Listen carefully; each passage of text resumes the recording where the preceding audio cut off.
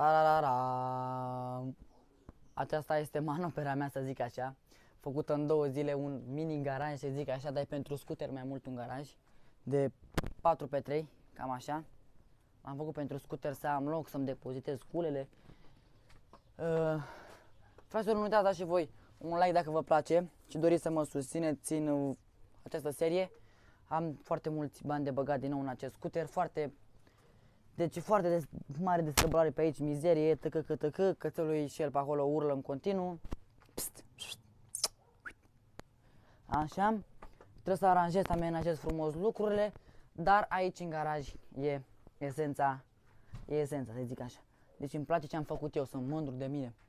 Dacă vedeți voi scânturile astea noi, astea așa de fațadă, înăuntru, pe de afară avem, pe afară avem tablă, mai avem un fel de ciolofan, să zic așa, Treaba e bună, uitați. Pac, două scaune.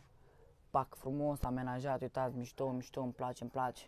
Câinii ăștia nu mai tac deloc, credeți, credeți-mă, sunt foarte destrăbălați acești câini. Acești căței nu mai tac deloc. Mai am pe aici vreo 3 litri de benzină, 2 litri jumate, 3 litri, canister de 10 litri. Uh, și scuterul, dacă vă întrebați ce are, tot la fel probleme și nu e pus la punct. Mi-a, mi s-a rupt distribuția. Să-i zic așa, Mergeam, am mers, după ce am schimbat setul, am mers cu el câteva zile. După când seara l-am pus, l-am stat să răcorească, bum, dimineață n-am mai mers, nu știu. Era căzut lanțul de pe axul cu came, să zic. Dar eu sunt mândru de mine și am vrut să vă arăt și vouă aici ce frumos saca paca. Foarte frumos, aranjat, amenajat. Ca la țară, știți voi cum e la țară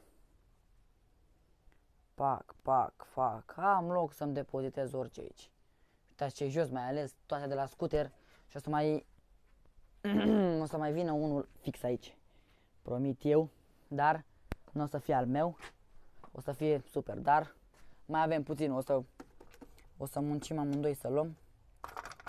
Pac, șuruburi, cheițe, cheile, Paulu, astea ce să vă zic eu că a fost aruncate fix în solar, pac, a plouat, a nins pe ele, pe scooter, nu, doar asta găinile pe el, vedeți ce murdar e, o să, o să încep iar să mi reiau viața cu scooterul, încep să, să-l pun la punct, să mi reiau toate activitățile pentru tobă, îmi trebuie garnitura de la tobă, aici venea țac, da s-a topit, n-am pus-o bine, s-a topit,